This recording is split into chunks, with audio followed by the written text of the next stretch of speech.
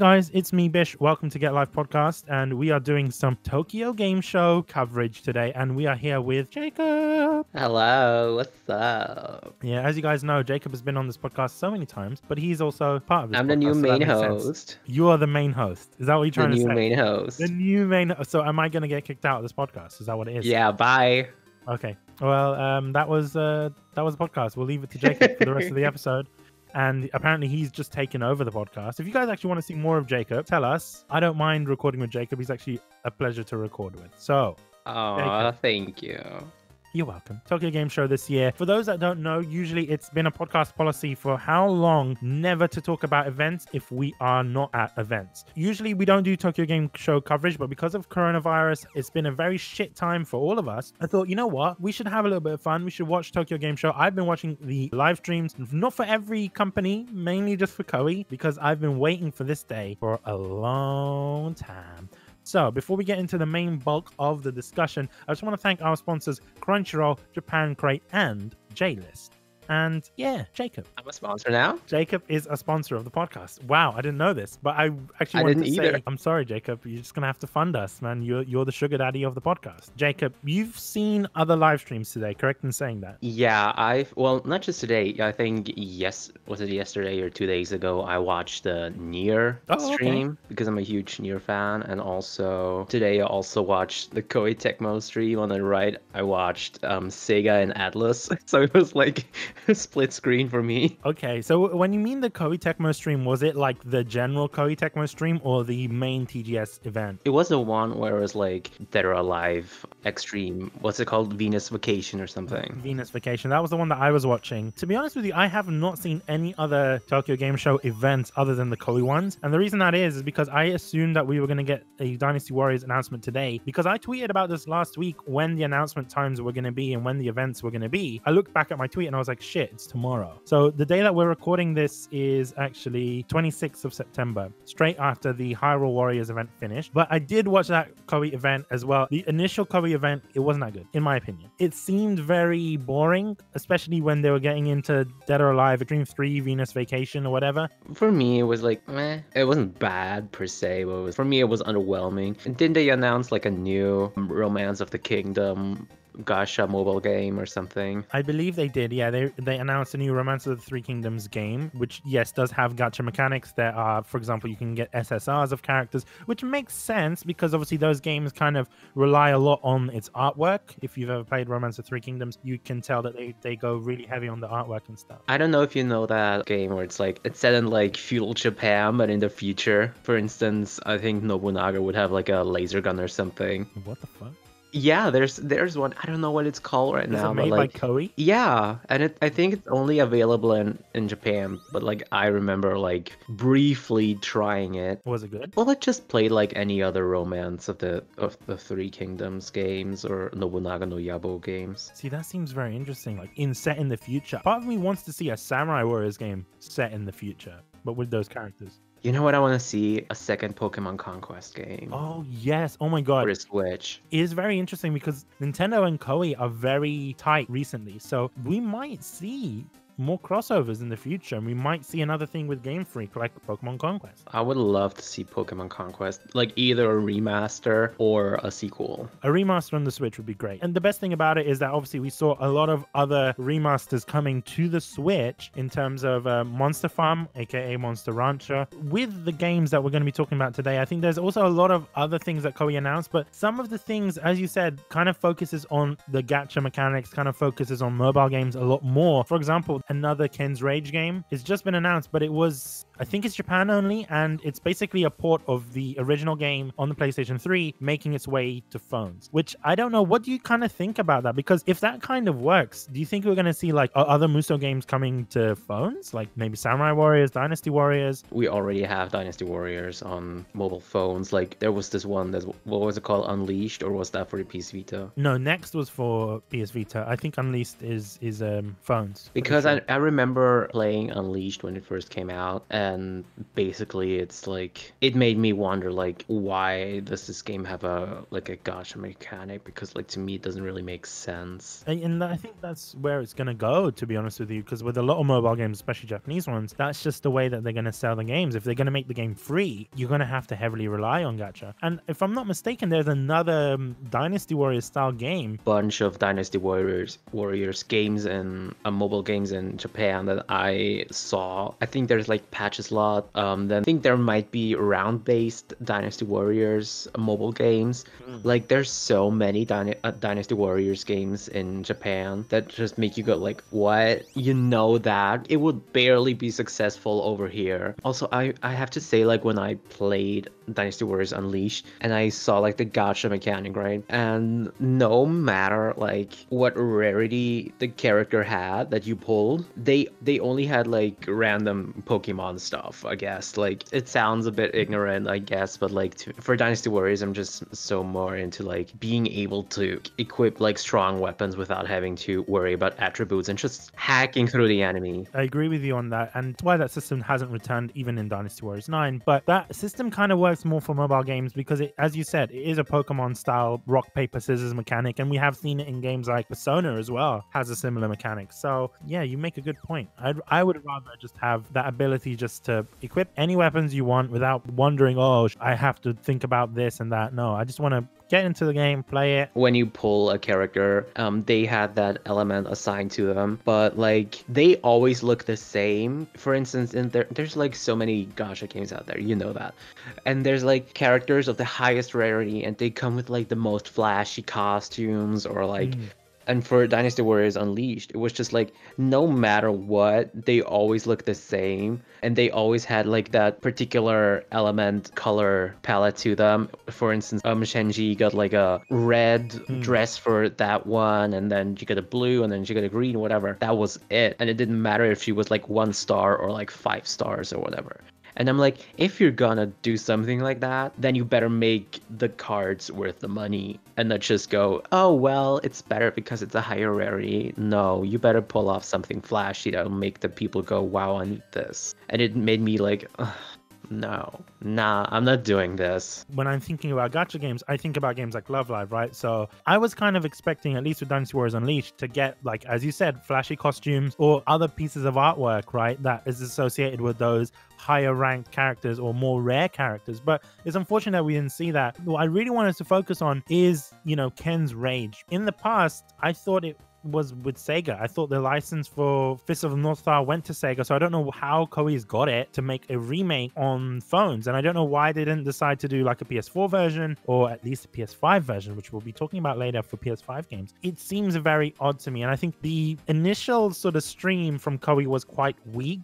Uh, there were some games that were seemed very interesting, like I said, in terms of Monster Rancher. Considering that game was a PS1 game and it's making its way to the Switch, only in Japan at the moment, comes West. I really do. anyone that's listening and they want these games to come overseas, we have to come as a community and just say, hey guys, we would really like these games to come overseas because they're not going to unless people want them. And Koei would need to have that sort of evidence to back it up. Otherwise, we're not going to get those games. So, if you want to see games like Monster Rancher come over to the Switch in the West, even if it is Japanese audio only, then I think that would just be great. You just guys have to just say to Koei that you want it and do so in a polite way. But the rest of the stream was kind of, ugh, I wasn't really into it. I understand the appeal for some people for the Dead or Alive Venus Vacation stream, but it's a game that is on the PC. I get it. It's a gacha game. Cool. But it just seemed very boring. It was more of the same stuff, and it wasn't really that appealing to me. I understand the game does have its appeal to certain types of audiences. To me, looking at it, I wasn't really interested in the fact that, oh, you can change Marie Rose's dress.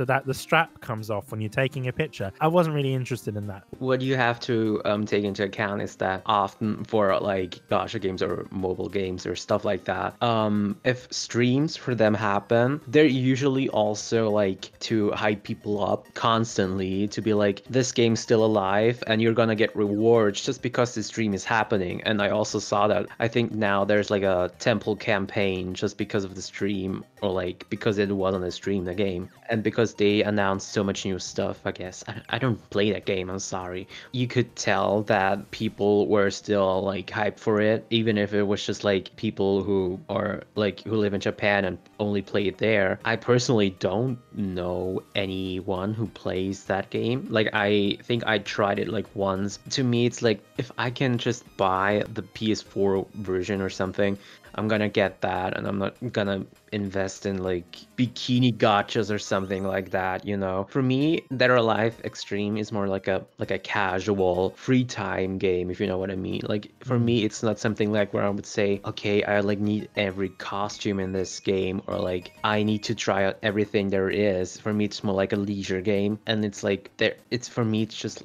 it's just not it. What's very interesting about that game is the fact that it is on Steam and it's you can also purchase it from I think uh, DMM. I'm, I'm, not sure, but with that game there was a similar console version to it on the Switch and the PS4. I can't remember. I think one of them is called Scarlet, and I can't remember what the other one is called. They came out with Extreme Three, and then they were like, okay, like it seems to be successful, so let's port it to. I guess what what did they port it to do?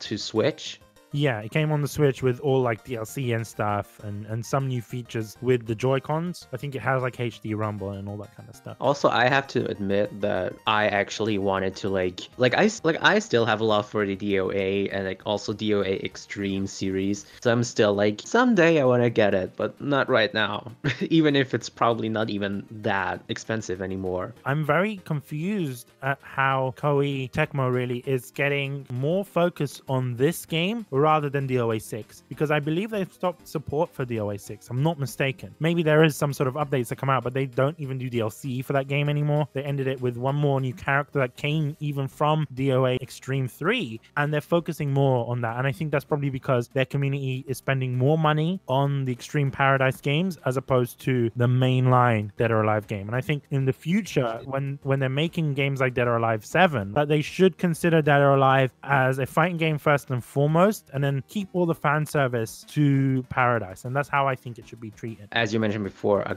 a gacha game, right? Like mm.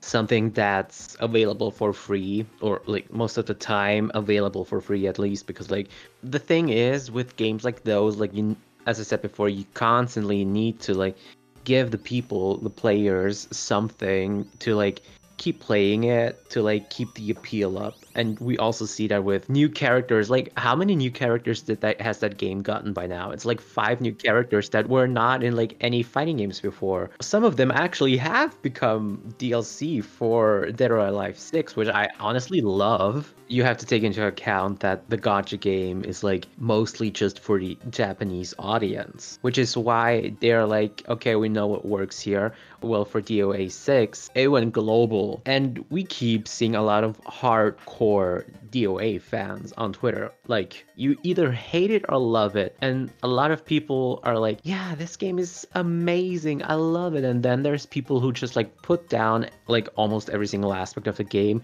which kind of like gets the whole thing just like shaking. And they're like, okay, you know what? Let's just end support for this because we have no idea how this is going to turn out. And it might cost us more money than it will bring us in. Mm while for Dead or Alive Extreme Vacation, whatever, it's like we know what who the audience is, we know what they want, we know what they pay for, so let's give it to them and cash in. It's obvious. And I'm also not saying that they're wrong with that because, like, for real, if I was them, I would do the same probably. Mm as long as it gets me money. Oh, yeah, definitely. That being said, we're going to go on a little break. And then when we return from the break, from the ad break, we are going to talk a little bit about Atelier Ryza. So we'll see you on the other side. This episode of the podcast is brought to you by Crunchyroll. Go and check them out at getlifepodcast.com forward slash Crunchyroll for 14 day free trial of Crunchyroll premium service. That means anime without ads, 1080p HD. You can watch it on all your favorite devices, your TVs, your phones, whatever. Even if you want to watch it on your Chromecast, you can as well. That's amazing. Go and check them out. 14 day free trial. You've got the most diverse collection of anime and manga on the internet. So go and check them out. It's a no brainer, lads. GetLifePodcast.com forward slash Crunchyroll. Thank you, Crunchyroll, for sponsoring this episode of the podcast. This episode of the podcast is also brought to you by the lovely people at Japan Crate. Japan Crate offers a unique experience of Japan through monthly crates filled with candy, and who doesn't love candy, right? Japan Crate brings you a delicious selection of snacks every month. You can check it out on our YouTube channel for $35 a month, and you can cancel anytime, but I don't know why you would want to. Learn more at getlifepodcast.com forward slash Japan Crate. Remember, use the code GALP for $3 off on new subscriptions. So, getlifepodcast.com forward slash Japan Crate. Use the code GALP for $3 off. And if you want to check out what snacks that you get in the crates, go and check out our YouTube channels. Links will be in the description. So go and check them out. Thank you, Japan Crate, for sponsoring this episode of the podcast. Okay, we are back. That was only like two seconds for us and like five minutes for you guys. So, Jakob, Yeah. what do you think about Ryza? Just as a little of an intro to it, have you played the original Ryza? I don't think I have. You own the game, right? I honestly don't know. I think you do. I think you, If I Right. if I do, I think it's digital.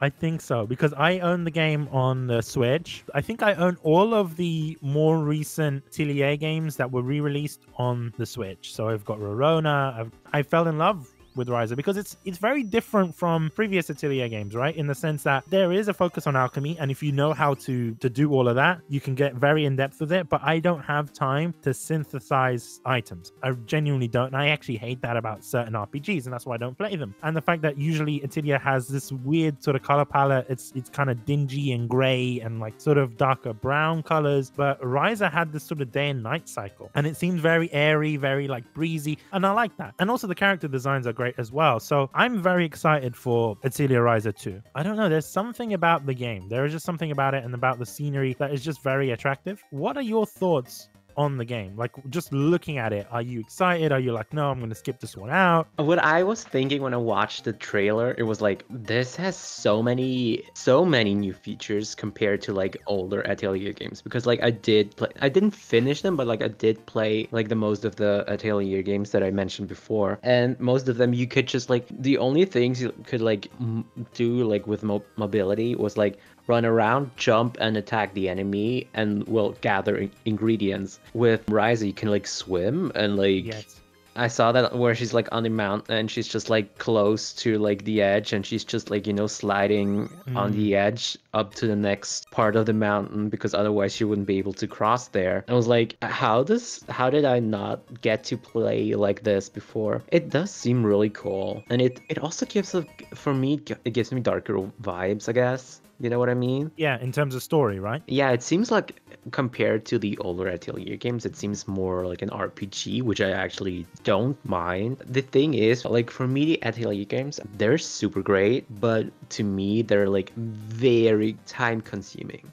Like Mm, very time consuming yes. like gathering all the ingredients alchemy all that. It's it's fun. It's super fun but for me it's also like i just don't have the attention span for that. So it's like that's actually i think that's on me or like the people who cannot get into that kind of thing. Overall i do like this series. I do think they're great games and they're also so beautiful to look at. Like the character designs and like the design of like the just the maps and the world itself is like breathtaking honestly Yeah, and I think Gust has learned quite a lot because my impression for previous Atelier games is the fact that the gameplay seems very similar to one another, at least from what I've played of oh, previous games yeah. before before Ryza. And I know a lot of people kind of give criticism to Dynasty Warriors and say it's the same game just over and over again. But I feel that Atelier kind of feels like that for me. So I wasn't really interested in it before Ryza. So Ryza, as you said, has some very amazing graphics and not even just graphics just scenery in the game is beautiful. And the way that particle effects are in this game even in the first one even in the second one it's fantastic. Transitions between overworld into battles is very seamless. So i like that kind of stuff. And you did mention new features. So there is quite a lot of new features within this game. I, I we didn't really touch on alchemy within the uh, trailers or anything like that. But the one thing that sticks out to me is the ability to ride that animal thing. That was quite interesting. It's a, it's summoning a monster on the field and it can dig to find spots for items and stuff like that and also the swimming mechanic i've Yeah. never seen an rpg I know this is like a JRPG, and this might be something that is existing already, but I've never seen a JRPG that actually forces you to swim to get to new areas of the map. So it kind of makes it feel as if the map is huge. Because if you had a small map, there's no need to put water elements in there. But it's even the smaller things, like when she goes to swim, her clothes aren't just dry, they are soaked, right? And I know some people will be like, oh, that's just for fan service, but it's also about the level of detail and the level of realism in this yeah, game. Honestly, just anyone's gonna get soaked if they're jumping into water and swimming for like even just seconds. They're like immediately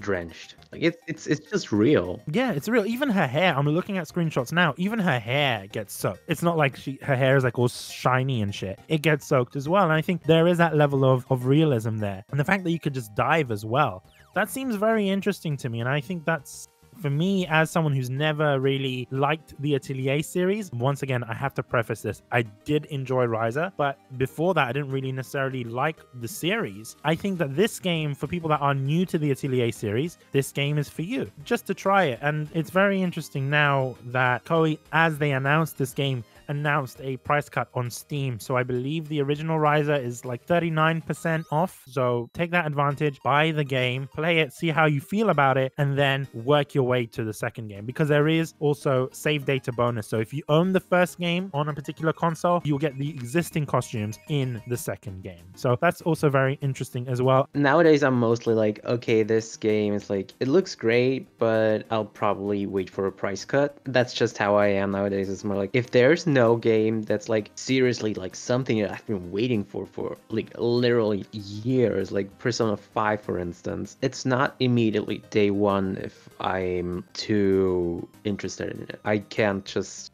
go out and buy every little game that's out on day one. Like i just can't. I might get it if i if i do think like okay it looks great. And if i do get it i'll probably play the first game first and then continue with two since that just makes sense to me. Like if there's a sequel i think it's good to play the first game first you know? I'll be probably getting this game just for reviewing. So I will be getting this game.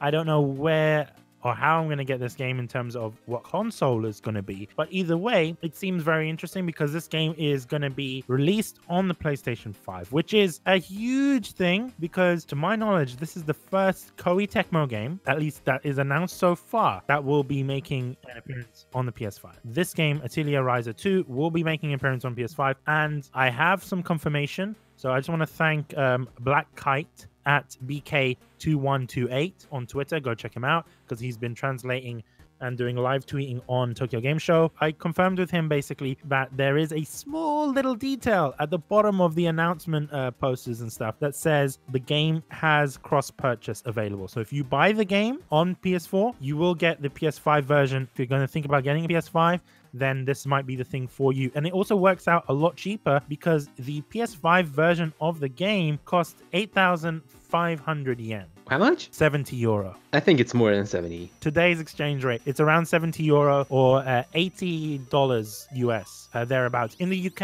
it is actually 61 British pounds. Obviously, these aren't official prices for those regions, but considering that Sony did say that prices for PS5 games can go up to 70 euro, we will be seeing games priced at that price point. But 60 pounds for a game oh, for PS5 seems quite a lot. 70 euro for a game seems quite a lot. I'm assuming the um, PS4 version will be costing around maybe 50 euro. I don't know. How much do games cost, like brand new, like Koei games on the PS4? If you wanted to save like 10 bucks, you could buy the game on the PS4 and then you get the free upgrade to the PS5. I don't know what we're going to get in terms of review codes. That's not something that we will know. They might give us a PS4 code and then it works on our PS5s. That could be Yeah. something. It might make more sense logistically, considering that the game does have a free PS5 upgrade. And it also allows reviewers to compare the game on both consoles with one code, if that makes sense.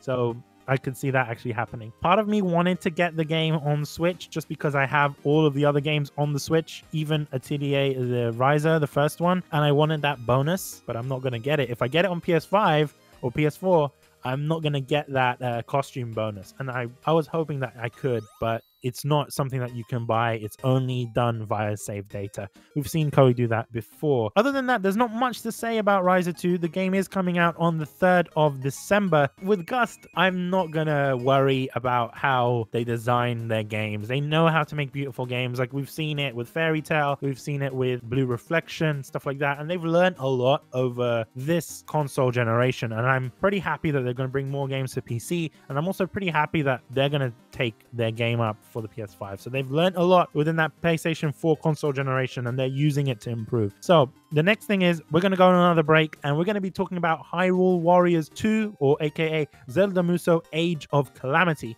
So we will get back on in a second.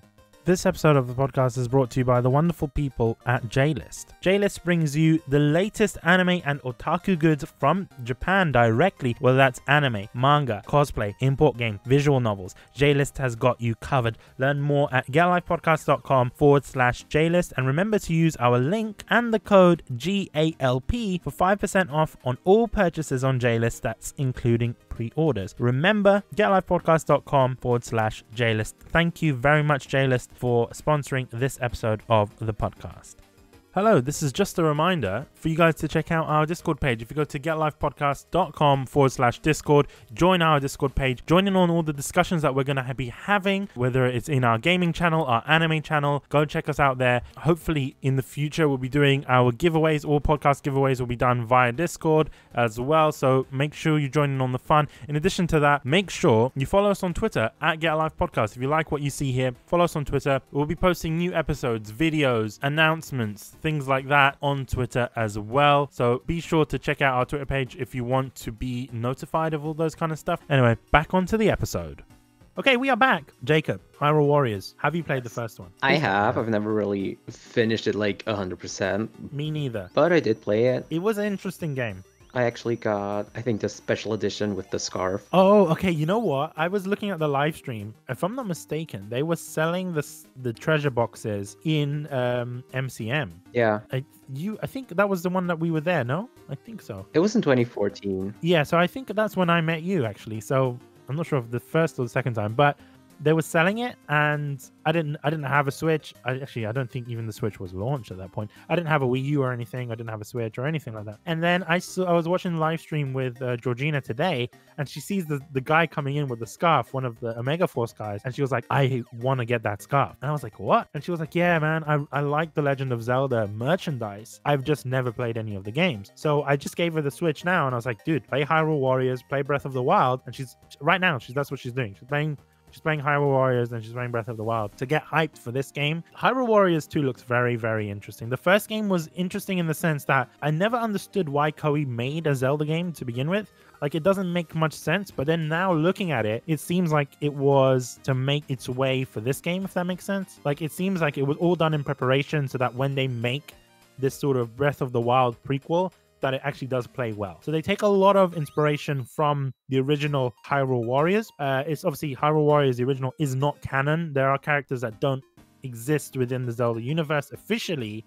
Uh, characters like Linkle, and we won't see her in this game probably unless she's there as DLC or anything like that. But it takes in a lot of stuff from the previous game. Uh, looking at the gameplay footage from you know Hyrule Warriors 2: Age of Calamity, it, they are going to be featuring the champions from the original Breath of the Wild and stuff like that. So you're going to see Mipha, Daruk, Revali, and Urbosus there as playable characters, which we did predict in our previous episode with Chris Gildart, which is, should be very interesting because I'm not sure if you played the original Breath of the Wild, have you? Or I do have it, yeah, but I've like I just haven't had time to play it much. I see I come off like a, as such a fake gamer on this episode, like, like I don't really, I just don't have as much time as I used to, sadly. you know what, Jakob? I don't think that makes you a fake gamer. I, you know what it is, right? There's a lot of people that are going to be buying this new uh, Breath of the Wild prequel, right? Hyrule Warriors 2. People are to, a lot of people are going to buy it without knowing the first Hyrule Warriors or without even playing any Dynasty Warriors style games at all. And there's a lot of hype behind it. And like when I saw the announcement, I was like, oh my God, we're going to see a lot of people that have shitted on games like Dynasty Warriors play this game and say it's amazing. And I looked at the gameplay, it looks amazing, don't get me wrong, but it seems like more of the same. Mainly with Link's gameplay, it looks like his same or similar move set from the original Hyrule Warriors, but with some new additions, stuff like shield surfing uh, returns from Breath of the Wild, the parachute from Breath of the Wild also, or the paraglider, sorry, from Breath of the Wild returns as well, and the use of bombs, the use of uh, ice make abilities and cryo abilities that basically allows you to freeze characters in place in boss battles, etc. And stuff like that is very inspiring to see that the, the fact that they are bringing in all these different things from Breath of the Wild and also stuff from the original Hyrule Warriors into this game and making it amazing. But to me, I think a lot of people will be more interested in the story, unfortunately, rather than the gameplay. The gameplay doesn't seem like something that people are going to buy this game for. I imagine the Muso fans, you know, people like me, Chris Gildart, or any of, you know, the, the Koei Tecmo family, they're going to buy this game for the Muso elements, right? But the wider fan base are going to buy it just so they can see how the champions were as characters because we're going to see a lot of character development for those champions. We're going to see a lot more voice lines for those champions and we're going to see, I'm presuming, we're going to see how those champions die. And I know that sounds really depressing and really, you know, Will die, so yeah, I get it, but I mean, it sounds bad for me to say that, but the game had them, you know, their deaths in the in the original Breath of the Wild was something that was very um, focused on, heavily focused on. So, of course, I would assume that we would see how they how valiantly they fought uh, in that war against Ganon. It's seems like very interesting to me because I've never really played a Zelda game before. Actually, Hyrule Warriors was my first Zelda game, the original, and then I played Breath of the Wild. So for me, I'm not too well versed on the game. I'm just looking at it as a Musou game. It looks fantastic. The certain elements do return. The music is different as well, although they have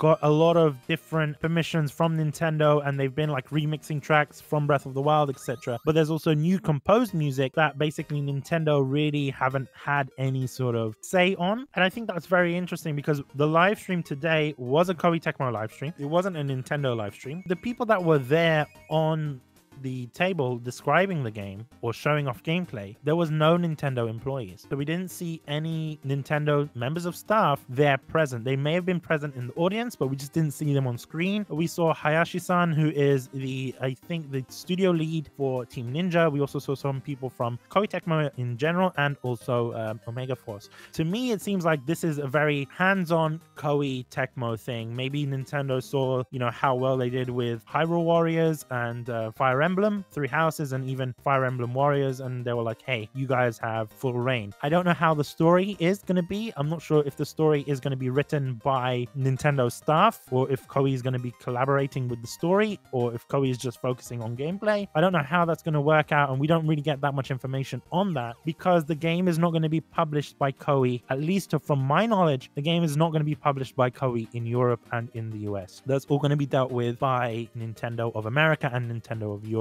In the Japanese live stream, it seems that Koei is dealing a lot more in terms of the publishing side. I'm not sure if that is actually the case, but they have a lot of special pre order bonuses and stuff like that for this game in particular.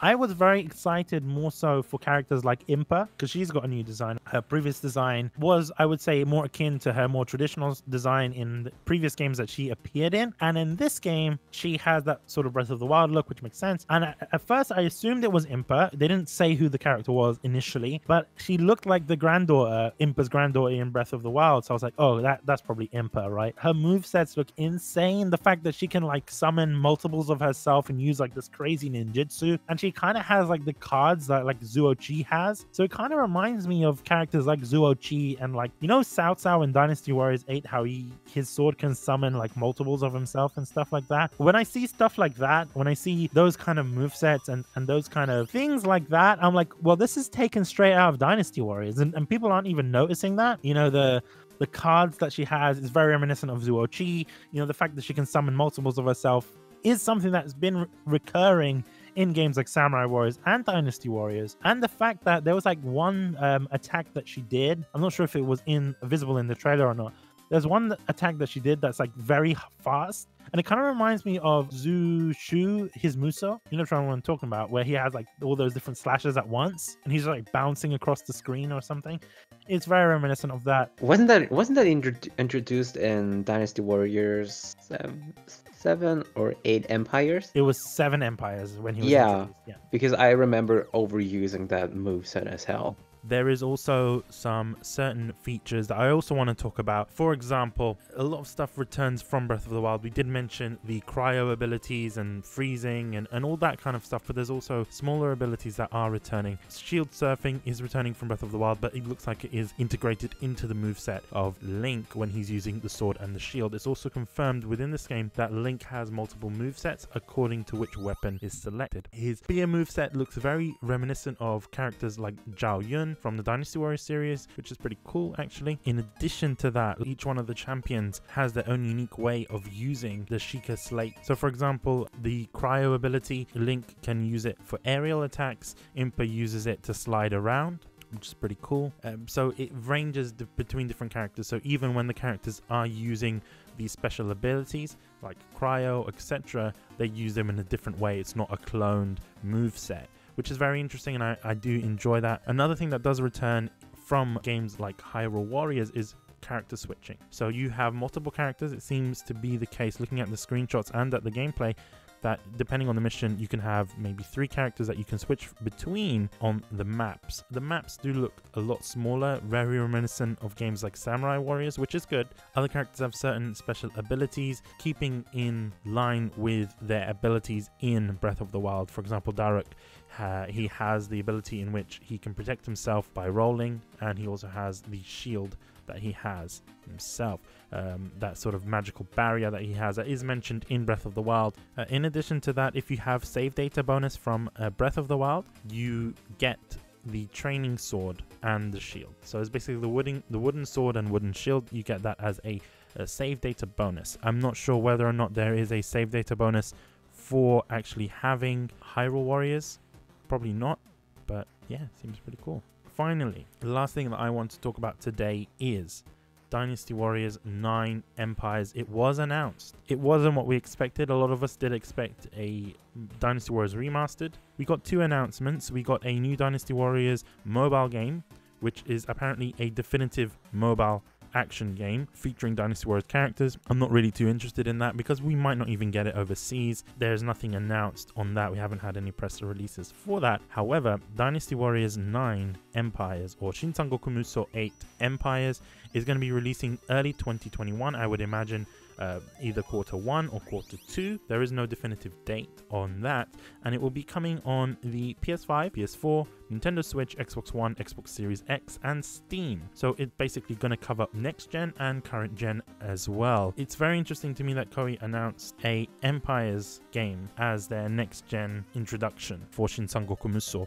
It seems very interesting. It seems very odd as well at the same time. And the reason why I say that is because, first of all, not everyone decides to go in for the Empires games, and secondly, it's Dynasty Warriors 9. I would have assumed that Koei would have skipped Dynasty Warriors 9 and gone with Dynasty Warriors 10, just because Dynasty Warriors 9 is already open world. It already kind of feels like Empires anyway when you're fighting the battles, and there's certain little bases that you have to take over, very similar to Empires, as I mentioned in my written review on the website. It seems very odd that they went for this decision. It is confirmed, however, that the game is not going to have open world mechanics. So I don't know how that's going to work, if it's going to keep the battles in stages, which would be very interesting because that's really what I wanted from Dynasty Warriors 9 to begin with. There is no information on whether or not the weapons are going to be changing, if we're going to return to more classic style weapons from Dynasty Warriors 8, or if we're going to stick to the cloned weapons that we've been seeing in Dynasty Warriors 9. I hope we don't get them. In addition to that, two player split screen is also confirmed within Dynasty Warriors 9 Empires, as well as a creator warrior system that is based on Nioh 2. For example, you can edit the body shape,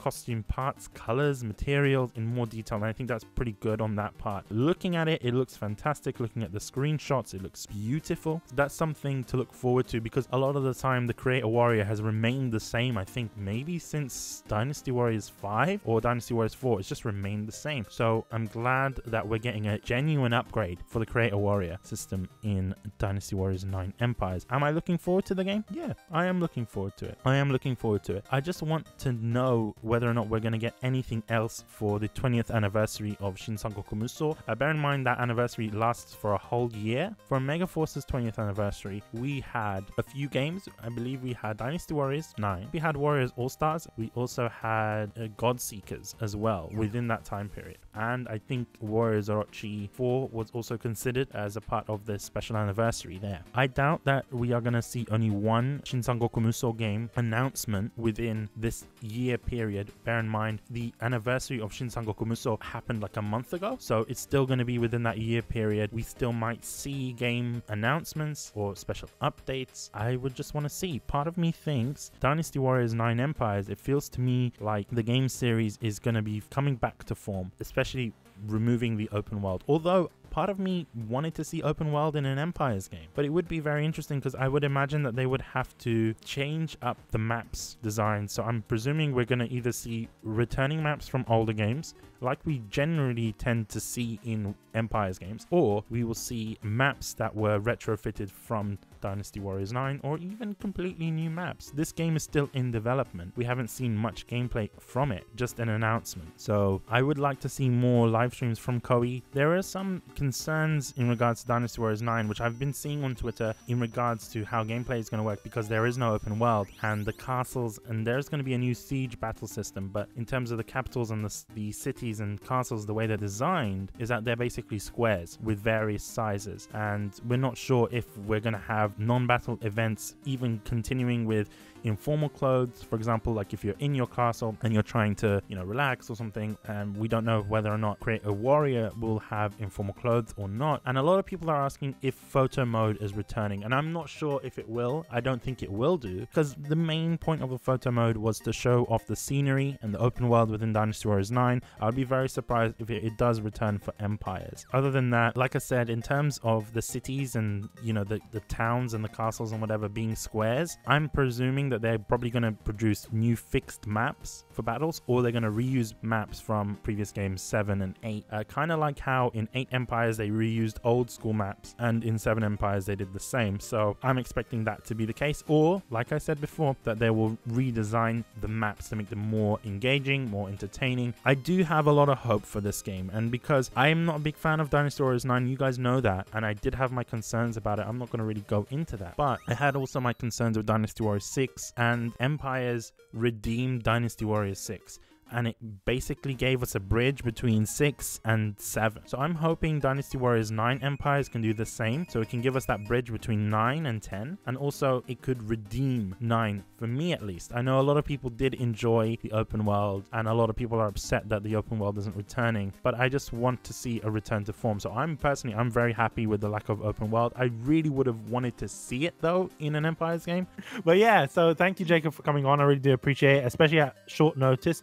Going to try my best. I've never done this before. I'm going to try my best to edit and put this episode out as soon as possible. I've never done that before. So if you like what we do, check out our sponsors, Crunchyroll, Japan Crate, and JList. Uh, also, check out our Discord because we are talking about Tokyo Game Show and what Koei is going to be releasing and all this other stuff on our Discord page. So go and join it. Please, come on. And that's it. Bye bye. Bye bye.